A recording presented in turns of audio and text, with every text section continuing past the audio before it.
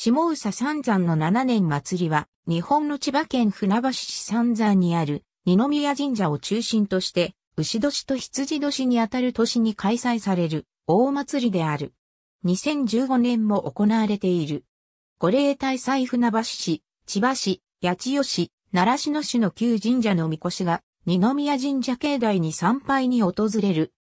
なお、二宮神社のみこしは、船橋一滝、野井地区と習志野市藤崎地区で担ぐことになっており、経済の時には、習志野市鷺沼地区に置かれることになっている。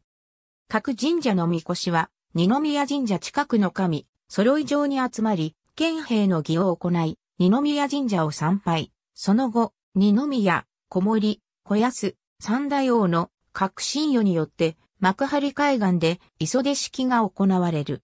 その後6年おきになるが、数え7年目ごとに開催されるため、7年祭りという名が付けられている。正式には、宮山の7年祭りという。550年以上の歴史があり、千葉県の無形民族文化財にも指定されている。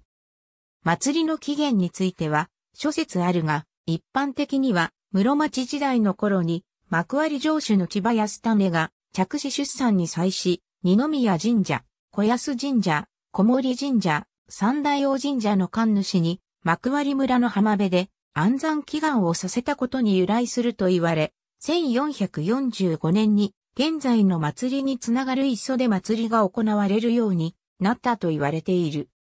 また、平安時代の頃に菅原道真のたたりを恐れた藤原時平の子孫が久々殿の入り江に上陸、宮山や高津等に居住した際に二宮神社の神主となり、地域を束ねるた際に始められたのが起源を持つとする説もある。